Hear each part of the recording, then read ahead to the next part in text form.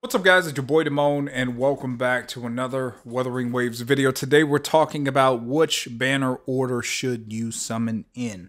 Alright, and once you have specific heroes, what you should do after that. Alright, now this this video is directed towards my newer Gacha players. I noticed in the stream, we streamed for like 17 hours. We had a ton of people asking like, yo, you know, what banner do we summon on? Now, so I want to talk about that to make that clear so you guys do not waste your summons. Okay. Now, first things first, guys. When you guys get into the game, you guys are gonna have a 20 pool, right? Right out the gate. Now, you, you're gonna be tempted to look at all this other stuff, but at the top, what's gonna happen is you guys are gonna see a discount banner. Okay. Now, that discount banner only costs you 50 summons and it guarantees you a random five star of the starting five. Okay. The reason why you want to do this banner first is because it's like 50% off and you can get lucky and just get a five star early and then just be done with it. Okay.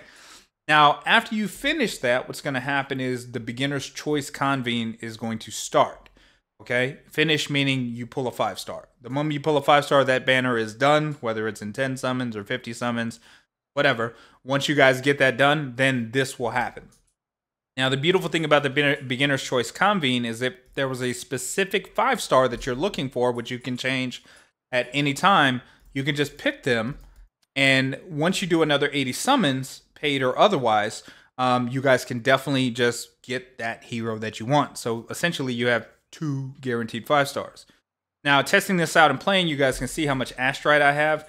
Um, I've been doing this completely free to play at all. So, like, I haven't spent anything at all. The only thing I spent, I spent 600 Astrite because I was testing how much it costs to refill your energy uh, or stamina or whatever, uh, just because I wanted to see what the cost was. So technically, I I've made forty eight hundred uh, and fifty one astrite just from playing the game for free.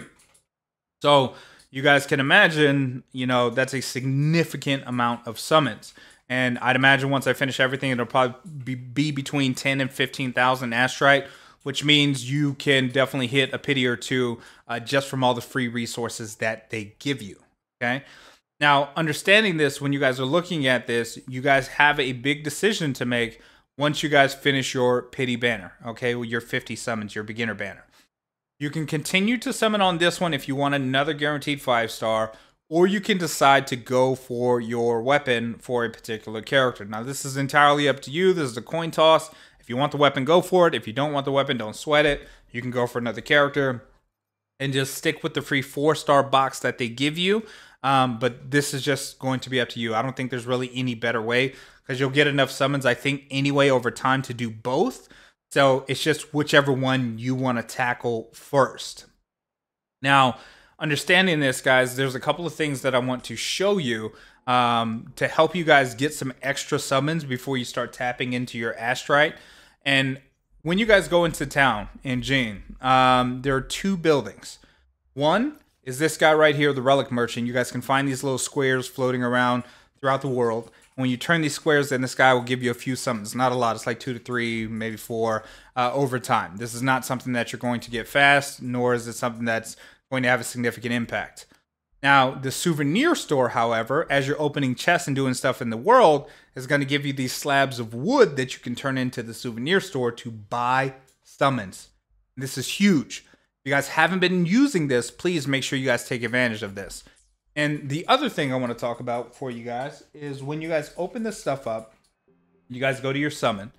Um, if you guys have not been using the shop and going to the exchange shop, you can use the corals that you guys are getting from using your free summons, by the way, um, to buy more summons. So you can use it to buy. I've already bought mine here with my free summons, uh, but you can use this currency to buy Lustrous Tide, Radiant Tides, and use them to buy uh, to summon on the limited limited banner and summon on the regular banner uh, without touching your astrite at all. Okay. So understanding that this will give you a lot of opportunities. Like I said, doing completely free to play, I'm probably already hit the pity uh, without touching my astrite, and I think I'm like 20 summons over. Uh, so I've done a total of about 70 summons uh, without touching my astrite at all. If I was to factor that in, I mean, you guys can see it's already a significant amount more, but I'm not going to be touching that. Now, the biggest thing though, guys, is understanding which banner to hit first And then now what I want you guys to understand is what you guys are going to do after you guys summon specific heroes. What you guys are specifically looking for is a healer and a damage dealer. Your third is optional. So Verina plus whoever that deals damage, or Baizhi, who they give you for free, plus two damage, whatever, however you want to do it. But working those things out, once you have those two things, you can pretty much save all all of your summons based on the current content in the game. Just save all your summons. Don't you know? You don't need to go crazy. You don't need to gamble. Um, now's the waiting game to really see what characters that are coming that you will want to add to your repertoire in the future. Um, and outside of that, uh, you guys will pretty much be good to go.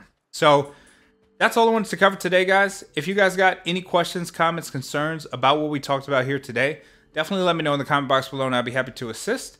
And uh, we'll see you guys in the next video. Peace.